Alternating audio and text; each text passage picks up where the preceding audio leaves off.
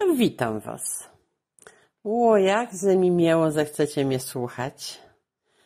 Dzisiaj opowiem dla waju syćko, co wiem o kuchni. Bo kuchnio to jest izba, gdzie ważyło się jedzenie. Kuchnio to urządzenie, na którym ważało się jedzenie.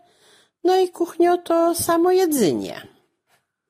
No i są pierw opowiem, jak wyglądała kuchnia, gdzie ważało się potrawy.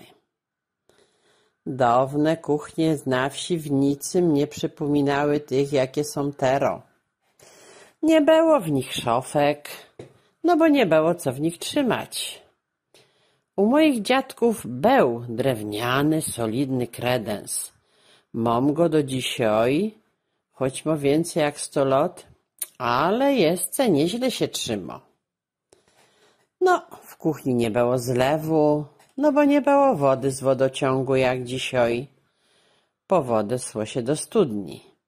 No i pierw trzajo było kulosem ze studni uciągnąć, a później wiadrem do izby przynieść. Nie było zmywarek, a statki myło się w cebrzyku. Nie było elektrycznych sprzętów, bo nie było prądu. Jo, opowiem wam, jak wyglądała kuchnia u moich dziadków ze sto lat temu. Choć mnie jeszcze na świecie nie było, ale chałupę dziadków, którą postawił jeszcze mój pradziadek w 1914 roku, pamiętam jakby to było dzisiaj.